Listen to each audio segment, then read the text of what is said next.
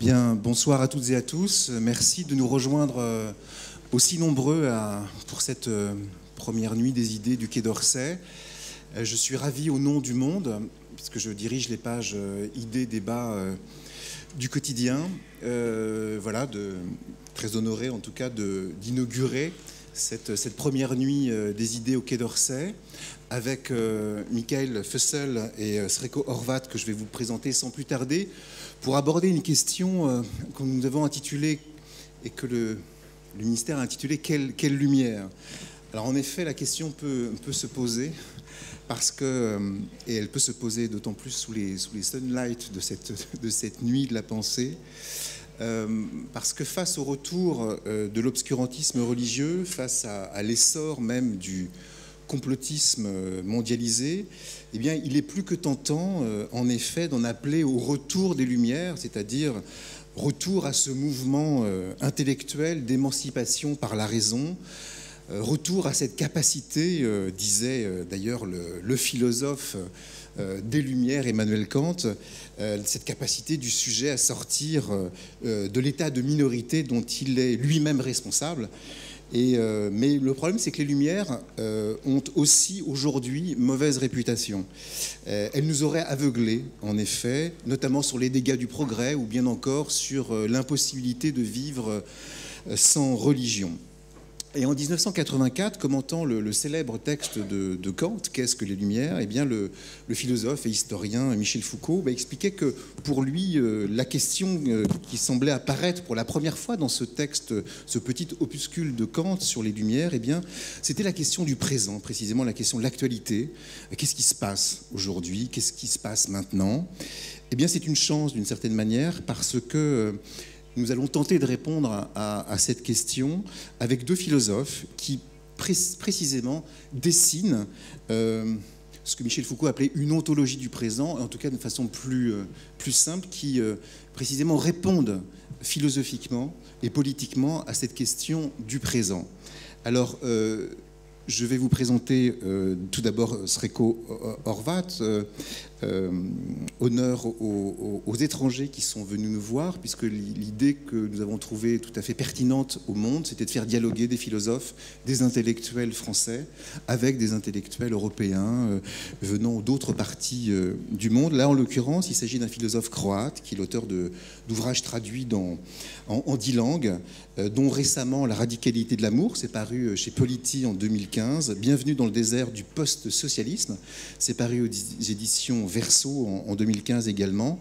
Que veut l'Europe avec euh, le philosophe slovène Slavoj Zizek. Slavoj Zizek est un philosophe qui vous a beaucoup euh, inspiré, un philosophe qui lui-même euh, se, définit comme un, pop philosophe et qui a beaucoup pensé à partir de sa place de philosophe slovène la question précisément du post du post-communisme et du post-modernisme. Il a été le fondateur, Sreko Horvat, du Subversive Festival. C'est un carrefour de divers mouvements de gauche et d'intellectuels du monde entier. Il publie régulièrement des articles dans le Guardian ou le New York Times. Peut-être euh, bientôt, et je l'espère, puisque à cette occasion j'ai découvert un certain nombre d'articles euh, de vous dans, le monde.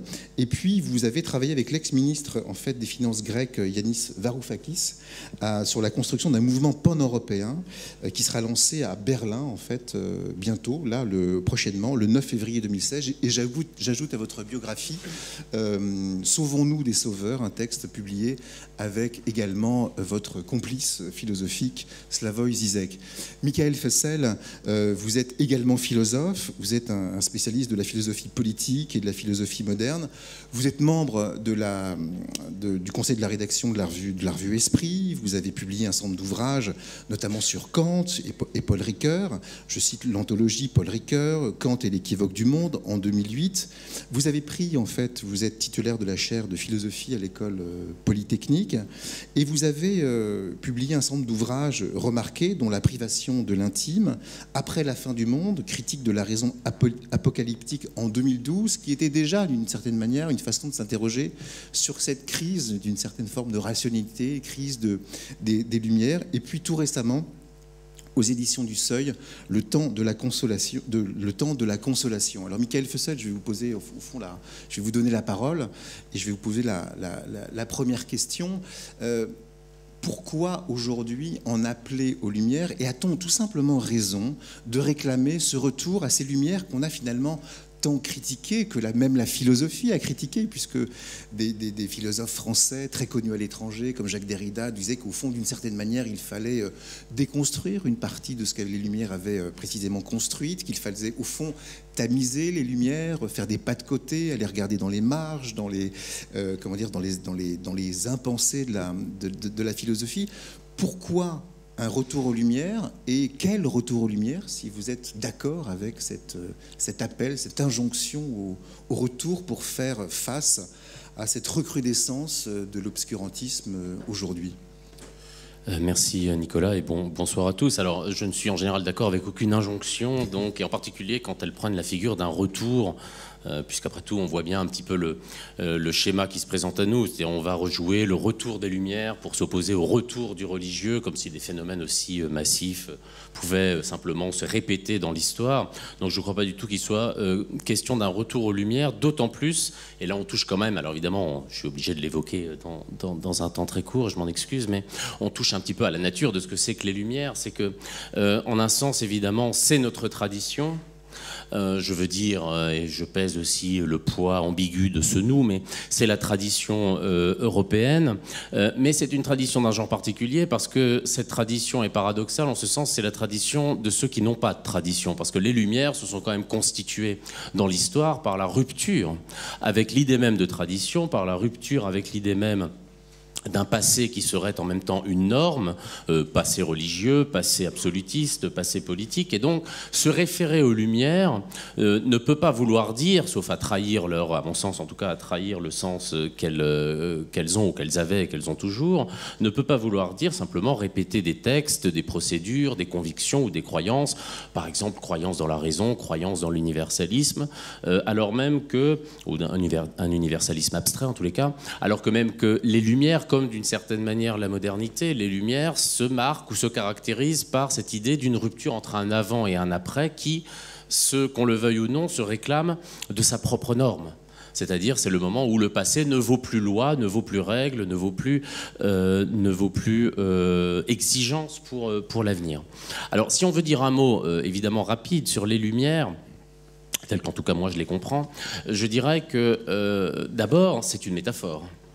Et euh, c'est une métaphore qui a euh, cet avantage et ce désavantage d'être évidemment euh, auto-appréciative. C'est-à-dire qui voudrait être dans l'obscurité, enfin, quoi qu'on pourrait après tout avoir des désirs d'obscurité, mais qui choisirait l'obscurantisme en tous les cas.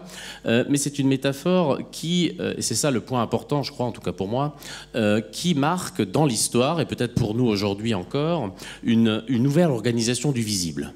C'est-à-dire que si on, envisage les choses un petit peu de haut, hein, et on est obligé de le faire dans le temps qui nous est imparti, euh, les Lumières adviennent au XVIIIe siècle lorsque on considère majoritairement du moins, que euh, la vérité des choses n'est plus donnée dans les choses, mais qu'il faut en quelque sorte l'arracher aux choses, aux phénomènes. Évidemment, c'est lié à la montée en puissance de la science moderne, euh, c'est-à-dire cette idée que l'homme n'est plus simplement contemplateur ou n'est plus passif dans le procès de la connaissance, mais qu'il va arracher euh, au réel, sa rationalité, son intelligibilité, euh, et aussi d'ailleurs euh, sa justice. C'est-à-dire que la justice n'est plus un don de Dieu, par exemple, mais l'objet d'une transformation, d'une institution, d'une politique. Donc les Lumières, et c'est à la fois leur ambivalence, c'est le maître mot que je voudrais mettre en avant, les Lumières sont à la fois évidemment, vous avez rappelé le, mot de Kant, hein, sapere aude, ose ose euh, employer ton, entendement, ose te servir de ton entendement, défais-toi de toutes les tutelles religieuses, politiques, euh, parentales, familiales aussi. Donc c'est une affirmation de l'activité de la raison, de la puissance de la raison. Mais évidemment, et c'est là l'ambivalence, c'est une affirmation qui repose sur une conviction, une croyance que peut-être nous n'avons plus ou qu'il est plus difficile d'avoir, on va sûrement en discuter, qui est que la croyance selon laquelle la vérité, l'objectivité, la science étaient nécessairement des opérateurs d'émancipation. Et j'ajoute d'ailleurs, parce que c'est l'aspect peut-être central, euh, la technique. Or, évidemment, on, a déjà fait le, constat bien plus d'une fois que, particulièrement au XXe siècle, mais en vérité déjà au XIXe siècle, euh, ce que nous avons appelé, à la suite des Lumières, justement, progrès, émancipation, euh, science, technique, pouvait être l'objet euh, d'usage, non seulement, mais peut-être même d'une logique qui, qui s'avérait être contre-productif, si je puis dire, en tout cas antagoniste avec ce qui était le projet initial des Lumières, qui était celui de Kant, de l'émancipation, de s'arracher encore une fois aux ordres établis. Même des philosophes euh, importants comme Théodore Adorno, Max Horkheimer écrivent après la guerre, même pendant la guerre, que finalement, euh, eh bien, la, catastrophe, précisément, vous qui avez travaillé sur la catastrophe, la catastrophe est liée à ce penser éclairé. Voilà, là, ils disent, ils écrivent même au début de ce livre qui s'appelle La dialectique de la raison, au fond, la dialectique de la Aufklärung, c'est-à-dire la dialectique des Lumières, et eh bien que le monde, précisément, euh, est là, précisément, sous sous, comment dire, et sous le joug de cette pensée éclairée qui a arraisonné littéralement toutes, euh, les choses, tous les biens, tous les êtres, et qu'au fond, le désastre viendrait même d'une, de cette hégémonie en fait, des, Lumières. Bah, on ne peut pas mieux dire, puisque c'est ce que j'avais effectivement prévu de citer, mais vous l'avez fait, la dialectique des Lumières, c'est-à-dire cette idée que finalement, le projet d'émancipation se retourne contre lui-même, euh, parce que euh, pour le résumer aussi très rapidement, hein, euh, l'idée de, d'Horkheimer et d'Adorno, mais qui est encore présente euh, non seulement en philosophie, mais bien souvent dans un certain nombre de discours, y compris de la contestation radicale de la société européenne, occidentale. Bon, c'est cette idée selon laquelle le, le, consensus des Lumières, le consensus autour du savoir, le consensus autour des droits de l'homme, le consensus autour de l'universel, se fait toujours par exclusion exclusion. Alors les trois grandes figures qu'on cite souvent, ce que cite d'ailleurs Adorno, euh, c'est le fou, le primitif, l'enfant. Donc ces trois figures de ceux qui, d'une certaine manière, se refusent aux lumières, se refusent à cette idée d'une rationalité transparente, d'un savoir mûr, mature, bon l'enfant par exemple. Et puis on pourrait rajouter évidemment les minorités sexuelles, les femmes aussi, c'est-à-dire toutes euh, ces personnes, non seulement, mais aussi on peut dire ces significations, qui euh, se sont, qui ont été soustraites d'une certaine manière du pseudo-universel ou de la pseudo-universalité des Lumières. Et il est vrai que si on fait un peu d'histoire, on se rend compte que l'idéal des Lumières, l'idéal technique, l'idéal scientifique et même d'ailleurs l'idéal politique des Lumières a été porté par des hommes d'abord, européens, blancs, euh, porteurs de ce que Derrida appelait le logocentrisme, cette idée qu'au fond ils incarnaient là.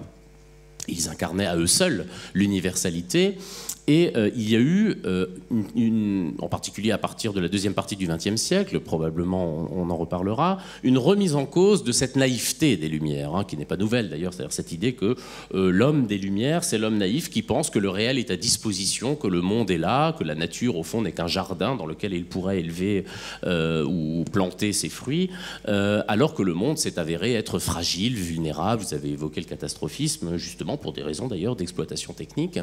Et on est arrivé un peu à cette idée, enfin, ou cette formulation qui est un peu un slogan, mais qui, me semble être juste, c'est-à-dire que euh, tout se passe comme si euh, le, on était passé de, de, de, la, formule euh, célèbre, enfin célèbre, pas célèbre je, je, je, crois, de Marx, selon laquelle les philosophes ont passé leur temps à interpréter le monde, désormais il fallait le transformer.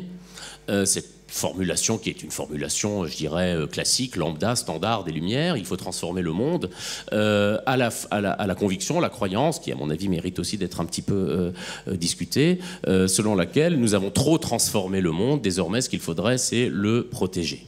Alors, je ne vais pas monopoliser la parole, on, en discutera. Je crois simplement que si je veux ici quand même défendre un peu les Lumières, euh, les Lumières ont non cessé d'élever des procès, d'intenter des procès. Kant, vous l'avez cité, c'est le tribunal de la raison. Cette idée que la raison, la raison humaine, était finalement le seul critère pour distinguer le vrai du faux, le bien du mal, euh, le juste de l'injuste. Eh bien, il est tout à fait logique, cohérent, que les Lumières aient fait l'objet elles-mêmes d'un procès. C'est-à-dire qu'on ait pu aussi retrouver dans les Lumières, c'est-à-dire au fond dans l'histoire occidentale moderne, on ait pu chercher critiquer ce qui était insatisfaisant dans leurs propres promesses. Mais c'est là que j'insiste sur ce point, c'est au nom de ce tribunal de la raison, c'est au nom des promesses non tenues de la modernité ou des Lumières que l'on a fait la critique des Lumières. Et donc, la position que j'aurais par rapport à quelle lumière, et je, cette fois-ci je, m'arrête, ça serait que finalement, euh, bien sûr, on peut considérer ce que les Lumières ont d'inabouti, ce que ce projet a d'incertain, parfois d'ailleurs de, euh, de, criminel, mais euh, on ne peut le faire, ou ne pouvons plus que le faire, sauf évidemment à faire un procès des Lumières depuis un savoir qui sera un savoir religieux, ou une foi religieuse absolue, on ne peut le faire que du point de vue qui est celui d'une raison ouverte, d'une raison qui n'est pas nécessairement scientifique, qui est une raison, et je reparle de cela euh, tout à l'heure, une raison qui ne se borne pas à sa figure positiviste, scientifique ou même technique, car une des grandes inventions des Lumières, c'est justement d'avoir pensé plusieurs usages de la raison, et pas seulement ce qu'on appelle, ce que Adorno appelle, vous l'avez cité, la raison instrumentale, la raison qui ne euh, pense qu'en termes de moyens et de fins, et dont effectivement on peut faire une critique euh, radicale. Alors, merci. je, précise pour ceux qui ne seraient pas des, familiers de, la, philosophie allemande que euh, Théodore Adorno et Max Horkheimer sont donc euh, deux philosophes euh, qui ont notamment créé ce qu'on appelle l'école de Francfort, cet institut de recherche en sciences sociales, et qui ont entrepris ce livre, Dialectique de la raison, publié en 1944, qui était une sorte de tentative très étonnante, assez étourdissante, puisqu'après tout, cette nuit est aussi destinée à donner envie de penser, donc de, de lire, assez étourdissante de passer en revue toute la culture occidentale, de euh, comment dire, euh, d'Homère, euh, d'Ulysse, en passant par Sade et, tant d'autres textes, notamment la Bible, à la lumière précisément de la catastrophe qui était en, train d'arriver en Europe et en Occident à ce moment-là. Alors, Shreko Horvat, je voulais savoir bien sûr ce que vous pensez de, cette, de ce que vient de dire Michael Fussell, mais si vous aussi, vous estimez ou pas qu'un retour aux Lumières ou qu'une façon de réactiver, réanimer des lumières, certes peut-être moins triomphantes qu'au XVIIIe siècle et qu'au XIXe siècle, serait judicieux pour euh, eh bien, euh, imaginer un projet euh, d'émancipation que vous semblez appeler de vos voeux dans tous vos textes à la fois émancipation politique et philosophique. Alors tout uh, d'abord, euh, je m'excuse d'être un barbare, euh, pas à Rome, mais à Paris, et je ne vais pas parler français. Je parle très bien allemand, mais malheureusement, nous sommes, euh, ne sommes pas en Allemagne, mais à Paris. Um, nous n'avons pas beaucoup de temps, je vais uh, donc rester bref. J'ai beaucoup plus de doutes que vous lorsqu'il s'agit des Lumières et je suis beaucoup plus euh, sceptique aussi lorsqu'on pense qu'il s'agit d'un projet qui n'est toujours pas fini, qui n'a pas encore abouti. Mais je ne suis pas d'accord avec euh, Holkmein qui, selon qui on doit évoluer dans un sens unique euh, qui mènera sans doute à des situations telles que Auschwitz ou le, des régimes totalitaires. Je pense que les Lumières euh, a des avantages, mais également quelques dangers. Mais lorsqu'on parle des dangers, lorsqu'on parle des Lumières ici à Paris aujourd'hui, suite aux attentats terroristes, pendant la guerre en Syrie qui a encore lieu, et également, étant donné la crise des réfugiés qui bat son plein, je pense qu'il faut être très prudent lorsqu'on parle des Lumières comme étant une solution à la crise.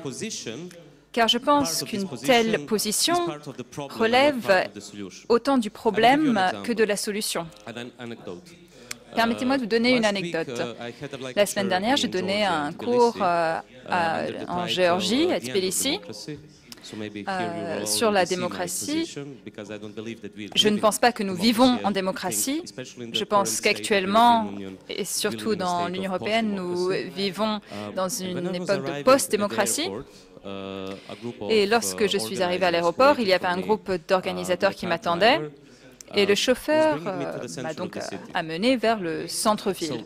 En chemin, on m'a dit de regarder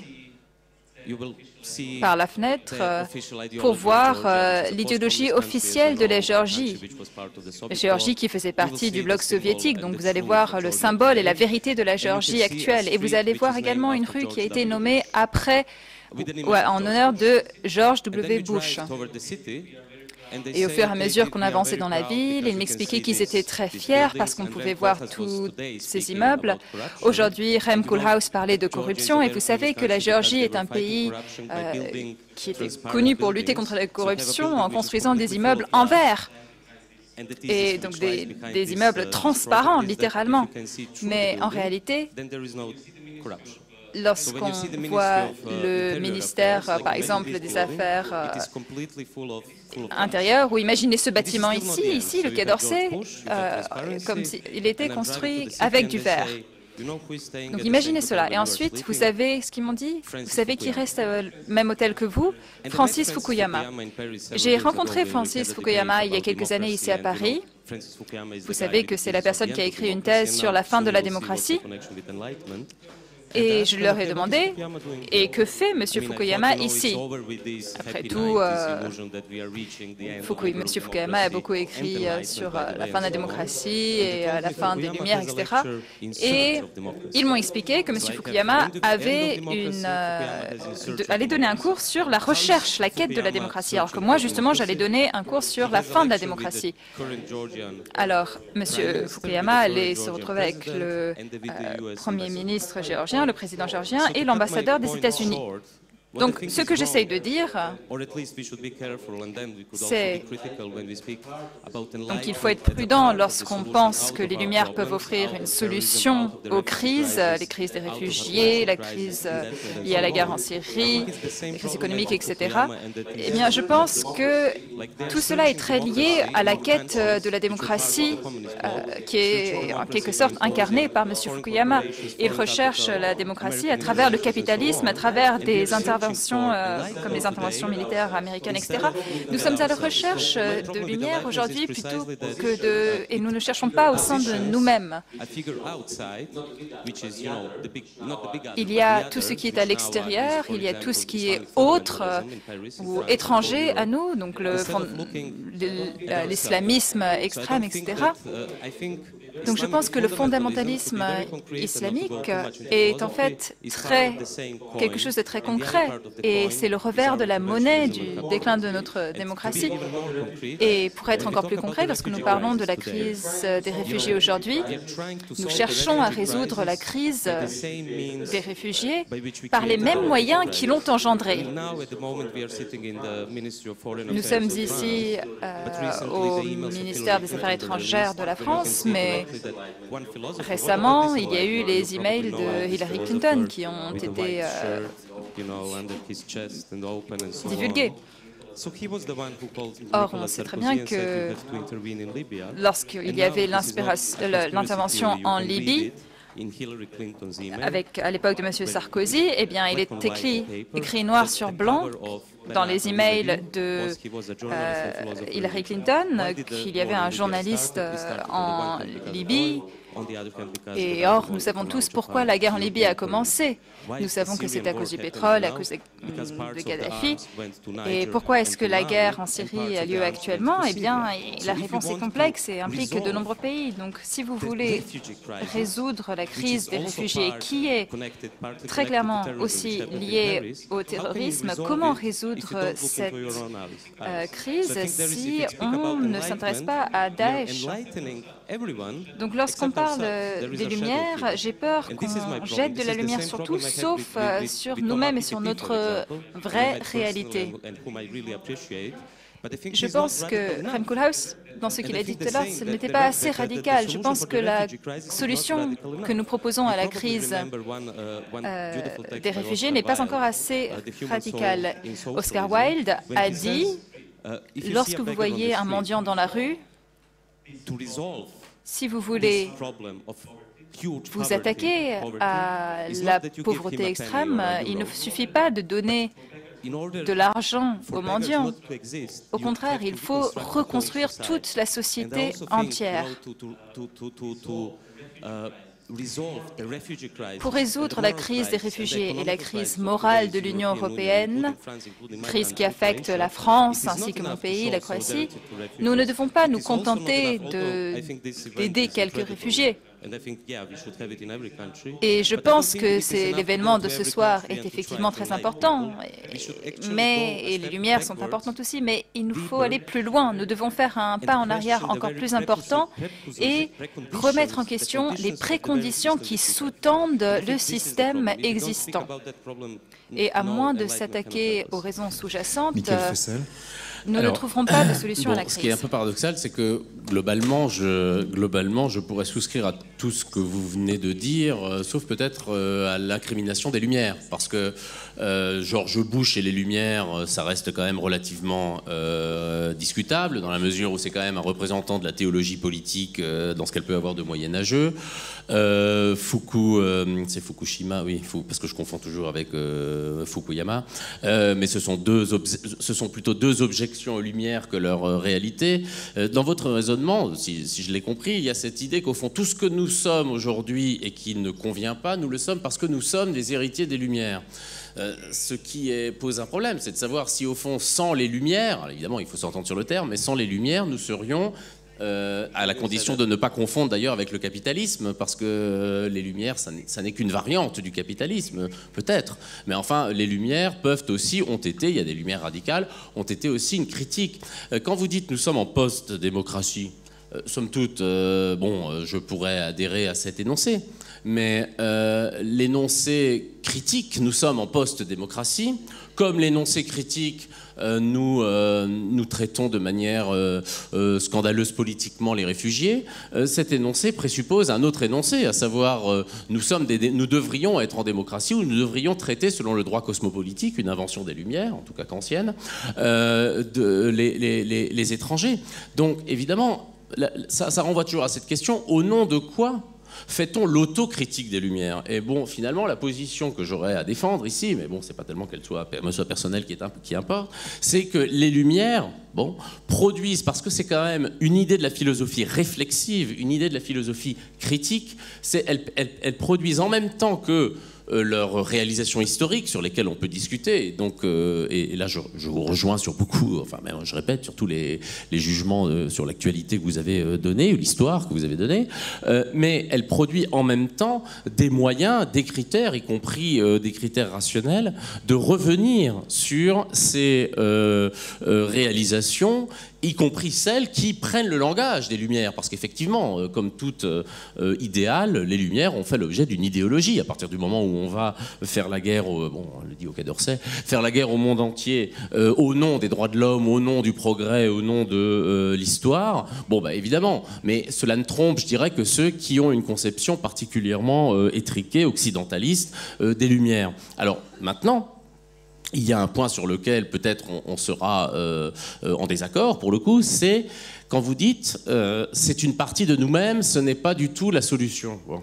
dans ce cas-là, D'abord, bon, c'est même pas que je vais vous jouer le, jeu de quelle est la solution, parce que c'est pas le rôle du philosophe forcément de faire du problem solving, mais c'est au nom de quels critères porte-t-on un jugement sur le fait que c'est un problème?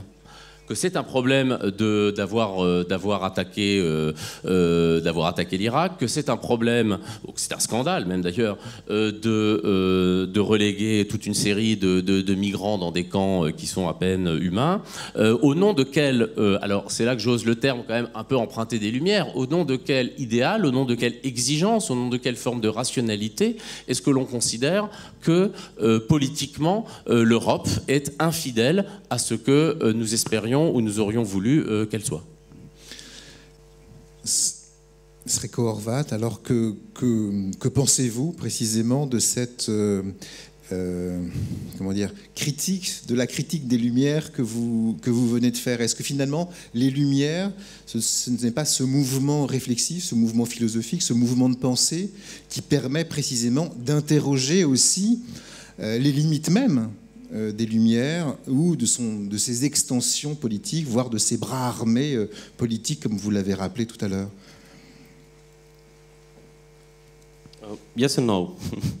Uh, I think the problem with, with enlightenment is that it puts rationality on the pedestal of all other criterias. And I think uh, uh, here maybe I'm closer to the position of Adorno and Horkheimer, but I don't go in the same direction until the end as they, because I'm not a Heideggerian who thinks that technology uh, will destroy us completely. You probably remember the last interview by, by Heidegger for Spiegel, which was published after his life, where he said, about the question on technology, nur noch ein Gott kann uns retten. Only a God can save us. So I don't go in, and I think this is, this is also, that would be the radical consequence of Adorno and Horkheimer in a way when they criticize enlightenment uh, from the perspective of the concentration camps, in the sense that technology was uh, uh, actually uh, leading into the way, the, the, the, the, development of technology was leading into the way of concentration camps. But uh, that would at the same time be a too easy reading of uh, C'est une lecture peut-être un peu trop simple finalement. Puisque d'un côté, vous avez un développement technologique qui effectivement euh, a explosé effectivement au XXe siècle. Donc d'un côté, vous avez effectivement un développement technologique, et puis de l'autre, vous n'avez pas de développement moral. Alors, c'est effectivement la euh, rhétorique derrière tout cela. Donc si vous ne voulez pas parler de, de l'intervention humanitaire, qui d'ailleurs euh, est généralement réalisée au nom de la raison, ah. je ne veux pas forcément mentionner ce philosophe euh, particulièrement, car ce n'est pas quelqu'un que j'apprécie particulièrement, de, mais effectivement, lorsque euh, euh, Bernard-Henri Lévy a essayé de euh, convaincre Nicolas Sarkozy d'intervenir en, en, Libye, c'était pas forcément la bonne solution. C'était un petit peu finalement comme ce qui s'est passé à Srebrenica. Moi, je viens de cette partie du monde. Alors, de là, effectivement, utiliser Srebrenica pour un argument, pour convaincre Nicolas Sarkozy d'intervenir en Libye, ce n'est pas forcément le bon choix. Alors, effectivement, à l'époque, la rationnelle était, la suivante. Euh, le mot de passe pour la Syrie, c'est la Libye. Euh, donc, voilà, c'est quelque chose d'assez euh, controversé. Alors, pour revenir sur la technologie et pour revenir sur les lumières, nous nous trouvons dans une situation tout à fait dangereuse. Par exemple, alors, le ministère des Affaires étrangères a organisé effectivement un déjeuner. Nous avons eu la chance de partager un déjeuner avec lui. Et j'étais très surpris de voir qu'à ma table, il y avait des historiens, des, écrivains, des militants. Puis il y avait deux personnes qui, je pense, représentent vraiment l'avenir. Une personne euh, taïwanaise, une hackeuse qui travaille pour Apple, et puis une autre personne qui lui travaille euh, pour euh, Google, euh, qui travaille sur l'intelligence artificielle. Ce sont deux personnes qui, effectivement, représentent l'avenir, qui sont très positifs. Vous pouvez suivre leur discussion par la suite. D'ailleurs, j'aimerais effectivement savoir ce que vous en pensez. Est-ce que vous pensez que ce qui se passe actuellement au XXIe siècle, après le développement de l'Internet, dans le contexte de euh, l'idéologie de la Silicon Valley qui... Est-ce que vous pensez que ça, c'est l'icône du 21e siècle? Nous avons essayé de euh, promouvoir la raison, puis ensuite la technologie, différents types de technologies au nom de la raison. Mais ce qui se passe finalement, eh bien, c'est que euh, nous avons une sorte de mise en esclavage ici. Donc, alors, j'espère qu'effectivement, euh, qui sait effectivement qui ne, connaît, qui ne commence pas sa journée en regardant euh, Facebook, Google ou en regardant son téléphone son portable Je suis sûr que 80% euh, des téléphones dans cette salle sont des Android qui utilisent donc Google. Google représente 80% du marché en Europe et donc chaque information que vous que vous entrez sur Internet eh bien, revient dans les mains de Google. Vous vous demandez peut-être quel est le lien avec la politique. Eh bien, le PDG de euh, Google est aujourd'hui en charge de la campagne numérique de Hillary Clinton. effectivement, euh, on a pu voir la réaction de euh, Hillary Clinton à la mort de Kadhafi. On a pu voir qu'elle était tout à fait satisfaite. Donc là encore, il y a un lien parmi tout ça. nous sommes aujourd'hui dans une position où, auparavant, c'était la raison qui était mise en piédestal, qui avait pour but de promouvoir la démocratie. C'est d'ailleurs pour ça que je pense que euh, Fukuyama n'est pas vraiment... Euh, euh, vous dites qu'effectivement qu'il n'est pas pertinent, mais si vous, allez en Géorgie, vous allez voir que oui, il est tout à fait pertinent. Euh, si vous intéressez à la situation euh, en Afghanistan, en Libye, en Irak, en Syrie, je pense que cette philosophie de, des Lumières a vraiment joué un rôle dans ces situations. Alors là, on touche à un autre aspect des Lumières. C'est pas simplement ce mouvement réflexif, ce mouvement critique, c'est aussi ce mouvement qui a fait coïncider d'une certaine manière la raison et le progrès. On voit aujourd'hui, ça ne date pas pour le coup d'hier, mais on voit aujourd'hui se développer. Euh, Sarkovat parlait aussi d'évoquer Heidegger, sa dernière interview au Spiegel, le fait que ce, grand philosophe allemand pensait précisément lui aussi que, que la, comment dire, que les, Lumières avaient arraisonné le monde et qu'il fallait précisément trouver autre chose, peut-être mettre un Dieu qui aurait pu sauver euh, l'humanité du, du, règne, de la technique. On voit aujourd'hui qu'il y a des critiques qui sont menées euh, à gauche, voire à l'extrême gauche aussi, de, cette, euh, de ce lien entre l'hyper-technologie, le capitalisme, la domination. Est-ce que ça vous semble pertinent, euh, Michael Fussel, de critiquer, d'une certaine manière, les Lumières, c'est-à-dire ce progressisme-là, qui culminerait aujourd'hui dans la, technologie capitaliste qui précisément, là pour le coup, euh, euh, vendrait ou s'intéresserait simplement aux parts de cerveau euh, disponibles, comme disait un directeur de chaîne de télévision française Non. Euh, parce que, euh, en réalité, vous avez évoqué le, fait que j'avais fait un livre sur la consolation, et si je l'ai fait, c'est pas pour faire de la publicité, c'est parce que euh, Kant, le philosophe des Lumières par excellence, a écrit une phrase dans, ses livres, un un de ses essais sur l'histoire, qui est la suivante le progrès est une catégorie de la consolation.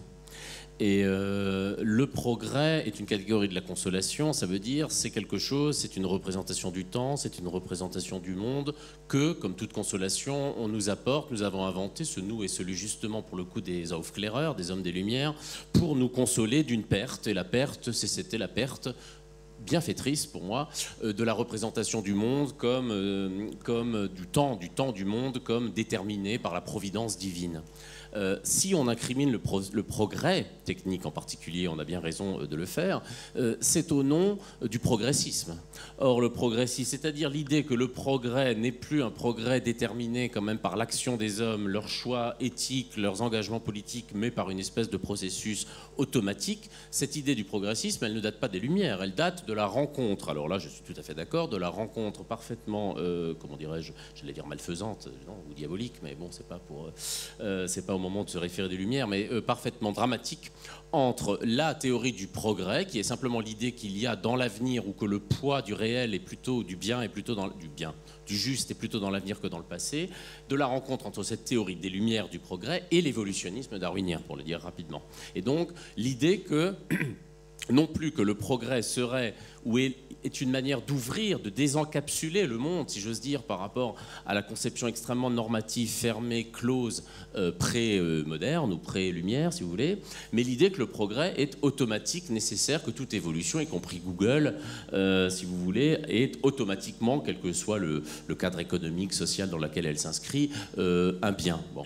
Or, si vous voulez, il ne suffit pas que ça s'abrille pour que ce soit les lumières. Si vous voulez, d'une certaine manière, il n'y a pas quand même une automaticité entre le fait, et là je, pense que c'est le cœur du débat qu'on a, puisque vous avez dit souvent, évidemment, le problème des Lumières, c'est cette manière de mettre la rationalité au détriment des émotions, la rationalité au, plus haut point de, notre, euh, de nos critères de vérité ou d'ailleurs de nos expériences. Bon.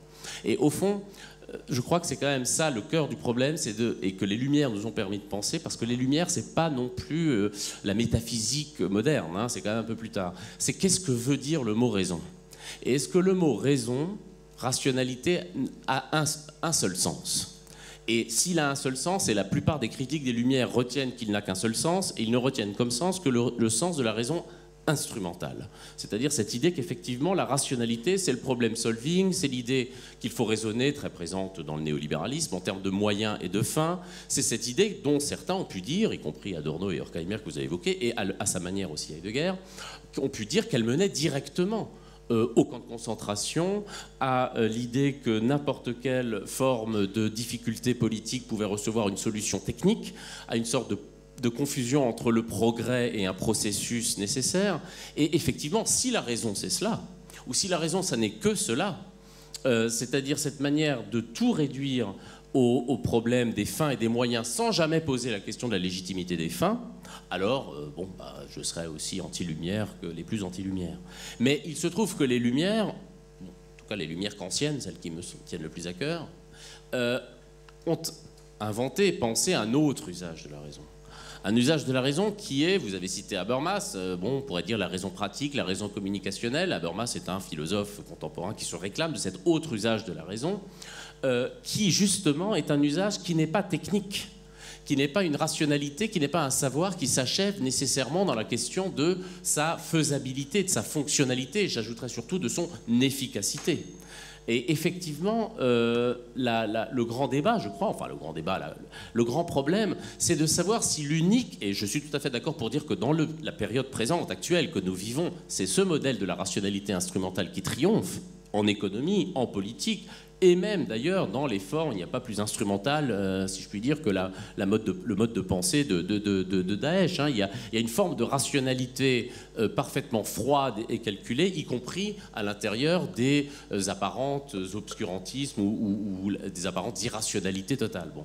Mais si la rationalité se borne à cela, alors effectivement, il faut abandonner l'héritage des Lumières. Enfin, le mot héritage déjà mériterait d'être discuté. Bon, mais les Lumières. Mais il me semble que nous n'avons pas à enfin nous n'avons, il, serait, risqué de céder un seul pouce de terrain sur cette idée que la raison, c'est-à-dire qu'au fond le, fondement de, la, vérité, si l'on veut, en tout cas de la norme, que euh, la, raison devrait être simplement fonctionnelle, simplement techniciste. Il y a des usages de la raison qui privilégient la fin sur les moyens. Euh, ça serait évidemment trop long de le développer, mais enfin euh, Kant est l'un des grands fondateurs de cette, théorie, qui privilégie le droit sur les nécessités euh, de l'histoire euh, et qui privilégie aussi la, subjectivité, je dirais, dans sa fonction libre ou émancipée, euh, sur la, ce que le marché peut avoir de fonctionnel ou d'instrumental.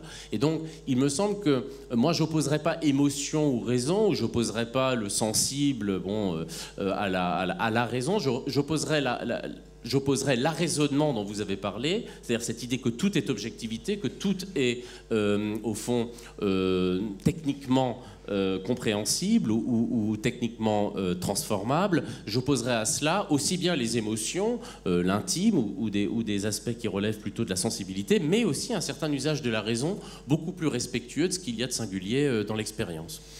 Alors, Sreko Horvat, est-ce qu'il faut, euh, comment dire, euh, s'aborder toutes les lumières ou plutôt euh, essayer de préserver ou de, comment dire, favoriser, de travailler des lumières précisément subjectives qui, fassent part davantage à, la, à la, raison sensible Est-ce qu'il est qu'il y a quelque chose pour vous, malgré tout, à sauver de ce mouvement et de ce que certains, même à gauche, ont appelé les, lumières radicales Puisqu'au fond, bien sûr, les lumières c'est le siècle des Lumières, c'est le XVIIIe siècle, mais pour beaucoup, dans l'histoire des idées, il a démarré aussi euh, avec Spinoza notamment, qui a servi, un philosophe qui a pu servir à des intellectuels de la gauche radicale, qui vont de, euh, de Tony Negri à, Gilles Deleuze, pour précisément penser des formes d'émancipation euh, philosophique et politique aujourd'hui.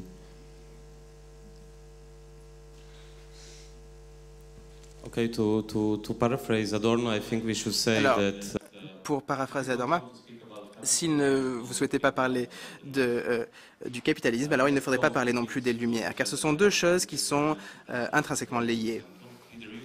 Alors, ça, ça s'applique bien sûr à tout le monde. Alors, je ne suis pas en train de me critiquer, bien sûr, mais aujourd'hui, nous avons euh, la raison capitaliste. C'est une idéologie tout à fait spécifique que vous pouvez utiliser même pour les lumières radicales. Vous avez parlé effectivement euh, de Deleuze. Moi, je ne suis pas vraiment quelqu'un de délésien, mais euh, je suis pour la subjectivité politique. J'essaye de voir comment est-ce que ça a été créé dans le contexte des Lumières. Comment est-ce que la subjectivité politique peut être créée dans le contexte de, du raisonnement capitaliste? Et là, il y a Maurizio euh, Lazzarato, qui est un, philosophe qui parle donc de euh, la protection des euh, hommes. Aujourd'hui, effectivement, nous sommes dans une situation où chaque individu, chaque personne ici présente est responsable pour son propre avenir. Pourquoi? Eh bien, pour des raisons capitalistes. Vous êtes responsable effectivement pour votre éducation, pour votre système de santé. Et donc, c'est peut-être euh, finalement euh, la, euh, la, meilleure chose que Margaret Thatcher a pu faire, savoir qu'il n'y a pas de société parmi les individus. Ça, c'est... Juste une question pour bien comprendre. Pour vous, est-ce que vous diriez de façon aussi nette que ça que les Lumières, ou la philosophie des Lumières, c'est l'idéologie du capitalisme? Non, non, non. Of course, dans ce cas, Marx est-il Marx est-il un, un, un adversaire des Lumières? What isn't Marx? Marx serait-il dans ce cas-là un adversaire des Lumières? Yeah, but you mentioned Spinoza. Alors oui, mais vous avez parlé de Spinoza tout à l'heure. Et Antonio Magri, comme euh, euh, vous le savez, il habite actuellement à Paris. Il a euh, écrit un, livre sur Spinoza. Il peut effectivement être considéré comme l'origine des Lumières, mais il faut faire attention car aujourd'hui je suis désolé effectivement de revenir sur les événements actuels, mais nous vivons au XXIe siècle après tout. Je pense que euh, aujourd'hui on utilise la raison comme une contre-attaque pour essayer de,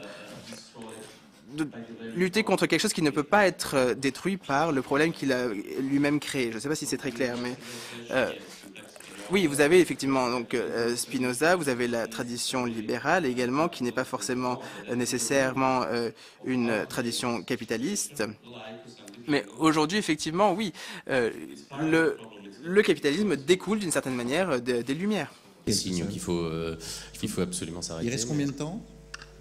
Il reste, il reste trois minutes. Alors, je vais vous poser une dernière question. Après tout, puisque vous avez dit tout à l'heure, Michael Fussel, que les Lumières euh, c'était une métaphore. Il y a une métaphore qui peut peut-être, là, pour le coup, euh, vous, euh, non pas réconcilier, mais peut-être vous faire converger vers quelques petites pistes comme ça. Il y a une très belle métaphore qui est employée par un poète, un poète qui s'appelle Pierre Paolo Pasolini et qui parle, lui, de Luciole. Il dit, voilà, ce qui est intéressant d'une certaine manière, c'est Luciole qu'il a vu dans une nuit, italienne quand il était tout jeune et qu'il pense qu'elles ont disparu en 1975, puisque précisément, là, pour le coup, le capitalisme, mais aussi la pollution ont fait disparaître les lucioles de la nuit italienne il, se demande où est-ce qu'elles existent encore. Et ces lucioles sont une métaphore pour beaucoup de philosophes aujourd'hui, dont euh, Georges Duberman, au fond de ce qui peut encore, d'une certaine manière, faire sens, faire communauté, émancipation, amour, etc. Je dis, ça parce que notamment Sriko Horvat a travaillé sur la question de l'amour. Je dirais, je voulais savoir où sont pour vous aujourd'hui les petites lumières ou les lucioles qu'on pourrait voir un peu briller dans la nuit du temps présent. Est-ce que c'est dans les mouvements d'émancipation auxquels vous participez? Est-ce que ce sont précisément dans euh, des textes philosophiques que vous lisez? Bref, où sont ces, ne parlons pas de grandes lumières ou de les lumières euh, au sens philosophique du terme, ces petites lueurs qui brillent aujourd'hui euh, en deux minutes chacun? Bah, il n'en faudra pas beaucoup plus, en tout cas pour moi, parce que je ne crois pas justement, et c'est là où euh, peut-être on était un peu à front renversé, parce que euh, je ne suis pas très optimiste, moi, sur l'avenir. Euh, les Lucioles, bon, on peut évidemment les nommer, et je crois qu'elles sont fondamentalement, c'est là où je continuerai malgré tout à me réclamer des lumières, elles sont là où nous les ferons briller. Je veux dire, bien sûr, je peux nommer là telle ou telle, telle ou telle partie, ça c'est difficile, enfin telle ou telle organisation, telle ou telle forme de résistance. Mais, puisqu'il reste très peu de temps, je voudrais faire la remarque suivante. L'un des l'une des modalités du discours progressiste aujourd'hui, révolutionnaire ou pas révolutionnaire, qui veut justement faire l'économie du détour par les Lumières, pas le retour, le détour plutôt, euh, consiste justement à mettre en lumière, c'est le cas de le dire, euh, ces micro-résistances, ces petits points de focalisation, ces lieux, ces endroits, ces sentiments, ces affects qui euh, nous permettent de résister. Alors tout ce qu'on a pu dire sur la raison instrumentale, le capitalisme, le bon. Et je comprends tout à fait cela dans des périodes qui sont des périodes qui ne sont tout de même pas effectivement à l'émancipation générale. Mais euh, s'il faut finir peut-être sur, enfin c'est pas moi qui aurai le dernier mot, mais euh, s'il faut peut-être finir sur un désaccord ou un accord, peu importe, euh, il me semble que ce qu'on peut retenir quand même des Lumières, c'est l'idée que un discours d'émancipation politique, hein, je ne parle pas ici de de l'existentiel, de ce que nous faisons de nos vies. Bon, c'est autre chose. C'est là où les lucioles sont les plus précieuses, à mon sens. Mais un discours d'émancipation qui ne passerait par aucune référence, sinon à l'universel, du moins à un certain degré de généralité, qui miserait tout sur les lucioles, les micro-résistances, les lieux euh, de, au fond, d'échappée, de, de, sortie, de marginalité, est un discours, je ne parle pas des pratiques sur lesquelles je n'ai évidemment rien à dire, mais est un discours qui est non seulement insuffisant, mais à mon avis aussi euh, politiquement euh, risqué, parce que finalement il consiste un petit peu à abandonner l'émancipation à des happy few, capables, si vous voulez, d'avoir les capacités intellectuelles ou corporelles ou artistiques d'ailleurs, de vivre à la marge du système. Et si l'on doit se souvenir de quelque chose des Lumières, c'est qu'une émancipation qui ne serait pas universalisable est une émancipation qui n'est non seulement pas totale, mais qui même est, est éminemment suspecte.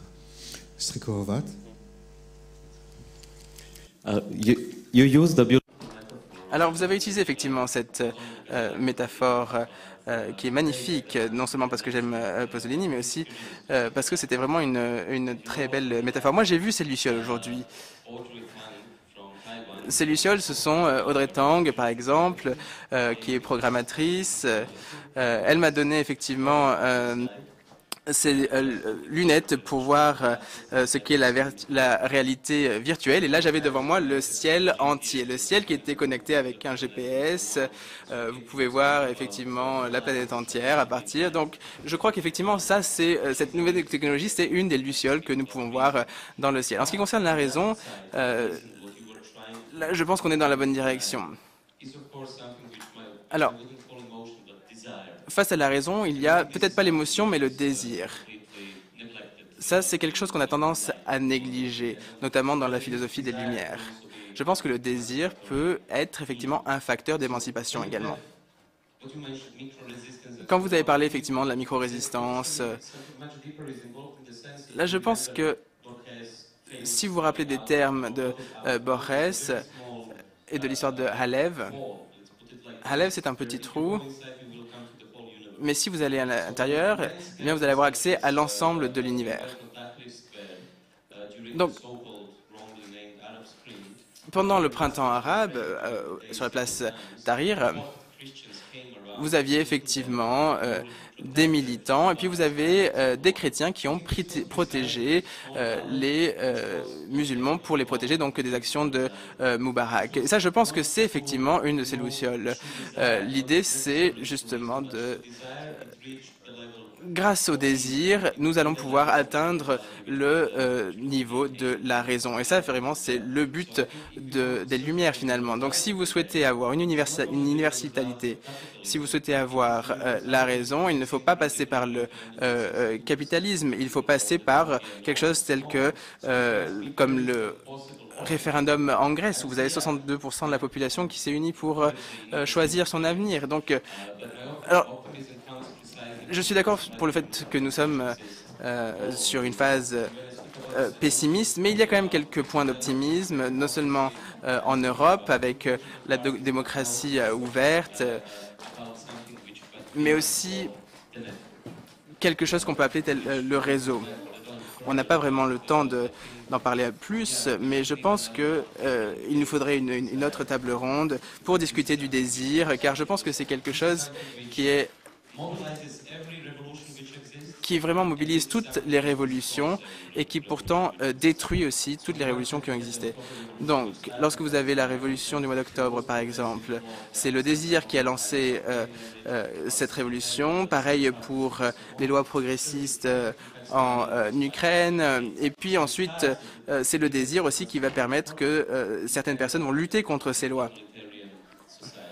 Et donc, si on ne prend pas en, considération le désir, je pense qu'on va vraiment dans la mauvaise direction. Excuse my French.